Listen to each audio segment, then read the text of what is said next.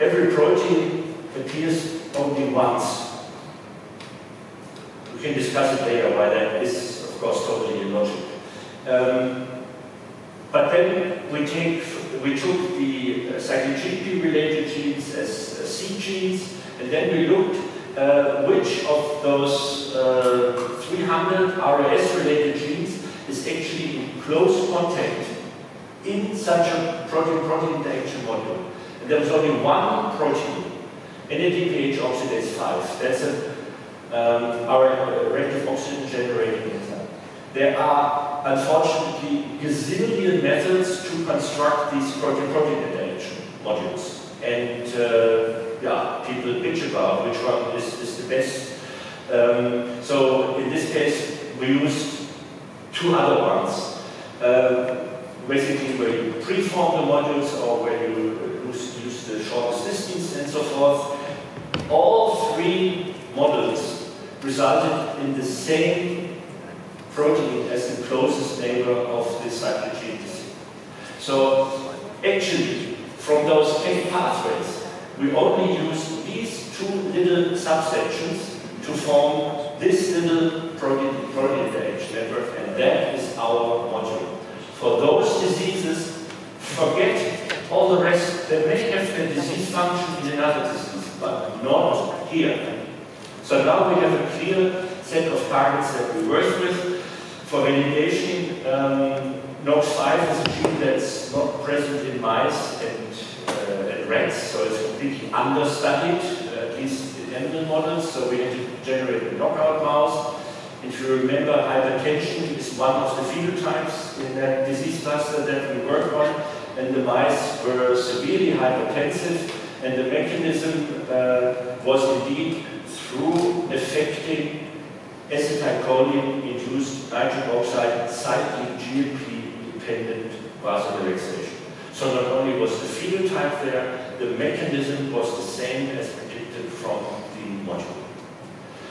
Now, uh, to validate this clinically, of course, we do not think that all patients with hypertension will have this mechanism. That would be naive. It will only be a certain pizza slice of this patient.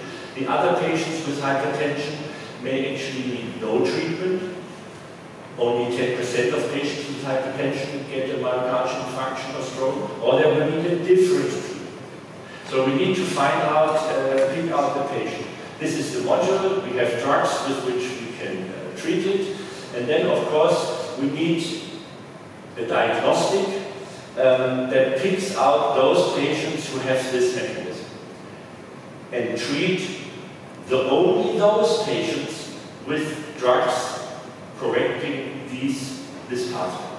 So then we have precision medicine. We identify only the green ones. We treat only the green ones. The others, as I said, will either need no treatment or a different treatment. But that's precision medicine. And we don't call the disease hypertension anymore. We call the disease after this dysregulated module. This is uh, how the assay works for the clinical trial. It will start at uh, Karolinska uh, probably early next year. So this is this marker protein, um, the distribution in normotensive patients. And in hypertensive patients, uh, most have also fairly normal levels, but there's clearly a subgroup of patients which stands out. And those are the ones which will be treated. And we think only those biomarkers are relevant that show such a bimodal distribution.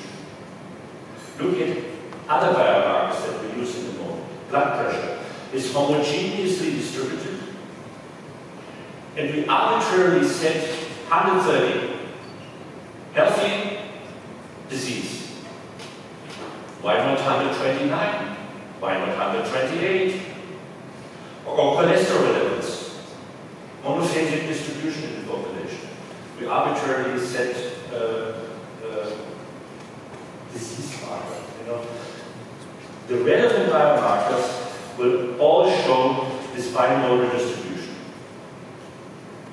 Another uh, phenotype in this uh, is heart failure, and uh, particular problem is heart failure with preserved ejection fraction. So from the biophysical parameters, computation, actually have a normal heart function, at least with these parameters.